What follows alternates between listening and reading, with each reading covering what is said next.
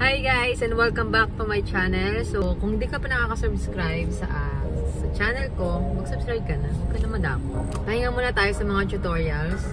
Kahit wala pa ako napopost. Travel vlog naman tayo ngayon. Dahil yung best friend ko ay merong beach house, beach resort. Doon ang ating punta ngayon. What? So for today's episode, syempre kasama siya sa vlog ko. Hindi pwedeng mawala yung best friend perks of being best friend. Kailangan nandito siya sa vlog ko. So, abangan niyo mga susunod. Mga, mag-long drive kami, siya muna ang magiging host ko for today. So, guys, enjoy. Enjoy this trip and sana makasama makasama pa namin kayo sa mga susunod. Okay? Bye!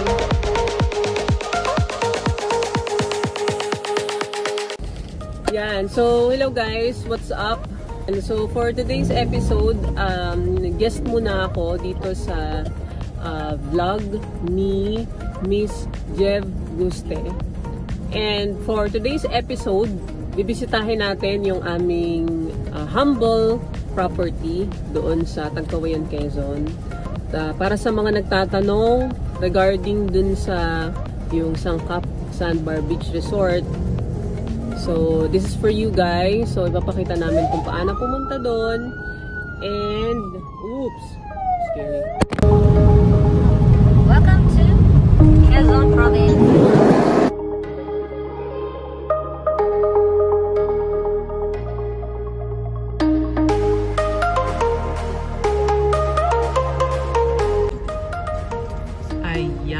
Sa mga palatandaan, guys. So, malapit na tayo sa Tagawayan. Ay, pag nakita nyo na itong, yes, hindi kayo nagkakamali, 812. O, oh, diba? Ano sabi ng 7-Eleven? Kung meron ka namang 812.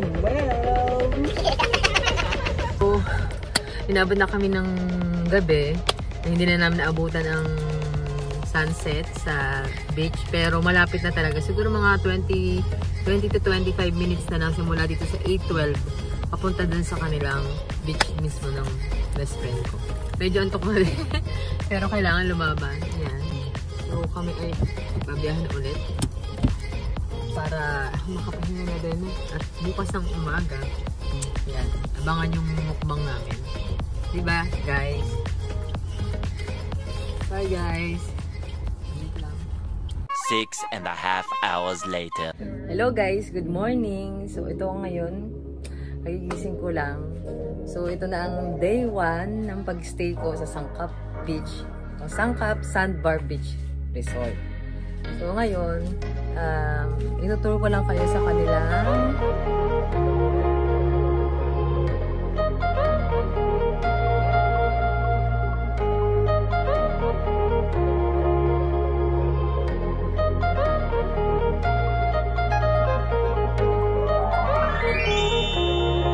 parang inarkila ko ang buong resort dahil wala akong ibang kasama.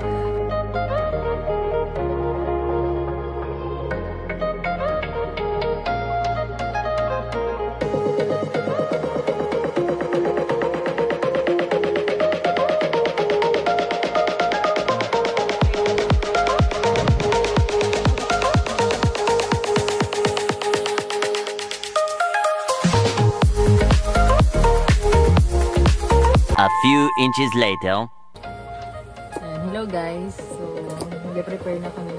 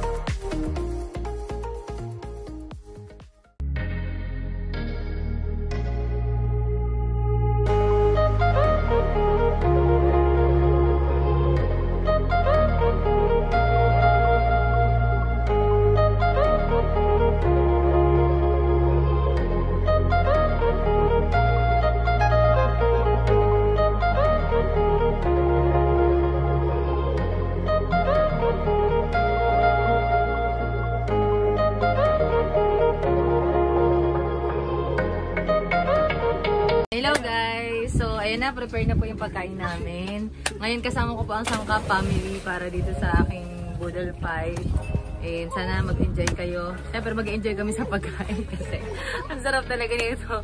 Matagal namin pinaghandaan ni, ng best friend ko yung pagkain na to. Nag-diet talaga kami para kumain ulit ng madami. And sana ma-enjoy natin. Tara, kain tayo. Tara, kumain na tayo. Yay! Let us pray muna. Pray tayo, Igo. Pray ye. Name the Father, Son, Holy Spirit. Amen. Okay, Jesus, O Lord. And this thy gift shall be received from the Jesus Christ our Lord. Amen. Father, Son, Holy Spirit. Oh. Yay! Meron po kaming look. Ayan po. Huwag po kayo makulit sa video ka lang. Kasama po talaga kayo dito. Huwag po kayo malilito. Ito po ay channel ko. Baka po magandahan kayo sa mga nag- mga bisita lang po. Ay, tamo na. Ayun anong camera sa akin. Nalayo na. Yung camera ko nalayo sa akin. So, ayan po. Magaganda lang po talaga yung mga ah, bis maganda po yung mga bisita ko ngayong araw na to. Kasi maganda talaga yung mga taga-tagkaway.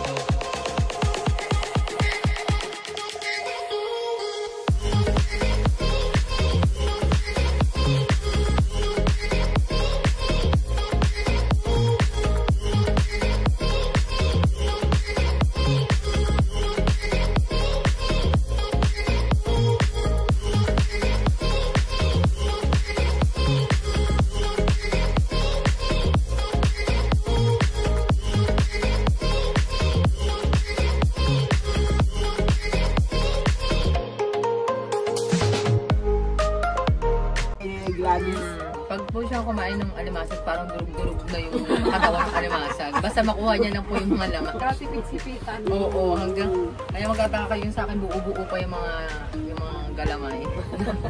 sa kanya hiwa-walay.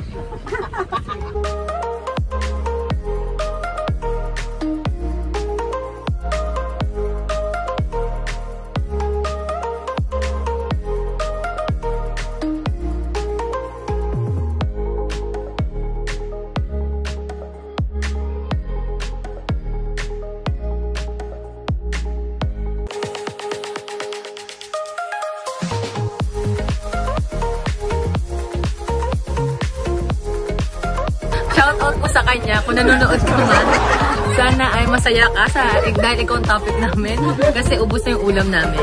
So, ikaw yung magiging ulam namin ngayong araw na. Naubos na kasi isa na lang siya. Oh.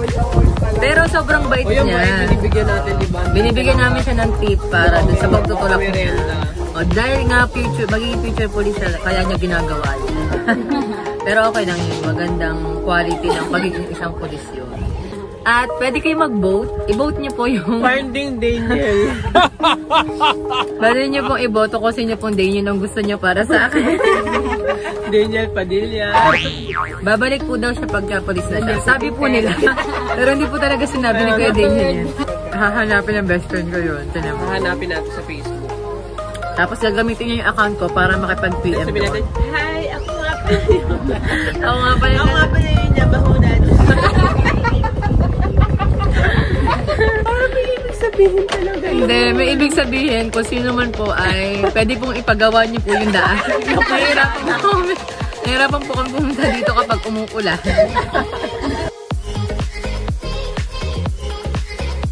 Ah, di ba? Ang tatanong ko agad, pang, anong pangalan mo? Daniel ba? Hindi, lampas po kayo. Mama Daniel ba talaga pangalan mo? Oh, baka Daniel tayo ng Daniel. Mauubos na, yay! Isa na lang po itong animasa. Kaya inuubos na namin.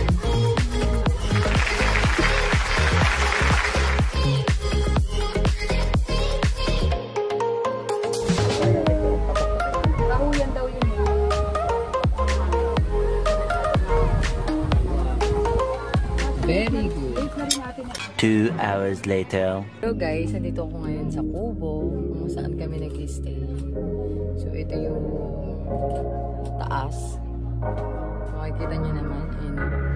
Ang ganda ng... Hi! Hi, Sheila!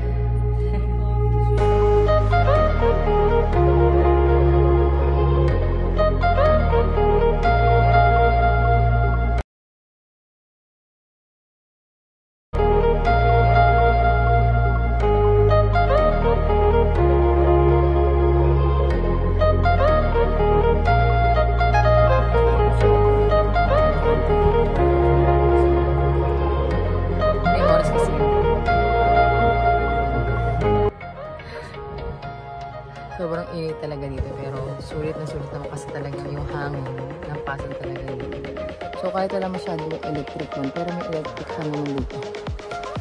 Ah, makakatulog din talaga kayo kasi kita nyo. Tagusan ng hangin dyan. So sa gabi, makakatulog talaga kayo mahimbing like Ay. Ayun lang. Bye guys. A few moments later. Hello guys, nandito ako ngayon sa Kandalapdap Beach House o Beach Resort. So, ayan, nandito ako ngayon sa floating cottage. Ayan. So, kasama ko po yung family ng best friend ko. Ito kami, nagsiswimming kami sa napakalawak na dagat. Nasa gitna halos lahat. As, pag nagpunta kayo dito, pwede kayong gumamit ng floating cottage. Tapos dito kayo kumain, mag-lunch tapos. Ayan. Pwede kayo mag-swimming. Pero hindi ito ganun kalalim. Sobrang babaw lang. Kaya pwede nyo siyang pwede, pwede siya sa mga bata. Napaka-safe naman ng place. Eh, yun nga. Very relax, relaxing.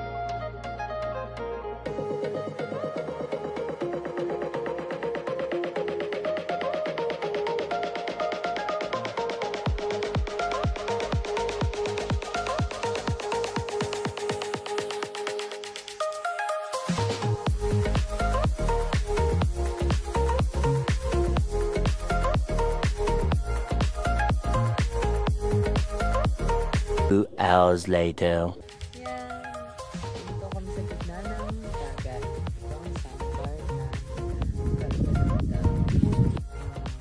Sobrang tahimik talaga. Kaya pagka uh, may stress po kayo, pagka gusto nyo talaga ng nature at nakakapagod maglakad dito sa sandbar kasi sobrang haba talaga. Nakita nyo yan, sobrang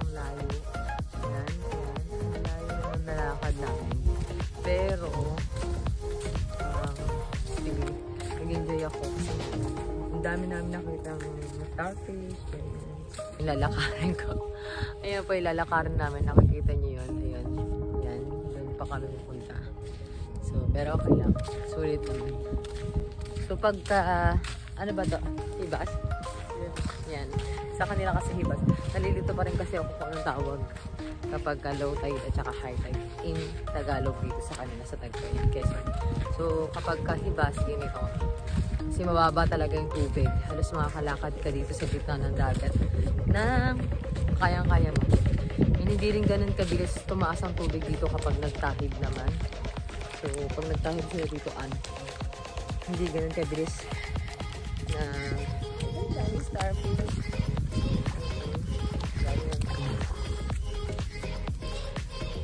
So, yun lang. Guys, uh, for today's episode, thank you so much sa inyong panonood. Sana nag-enjoy kayo sa isang araw na naman na lumipas.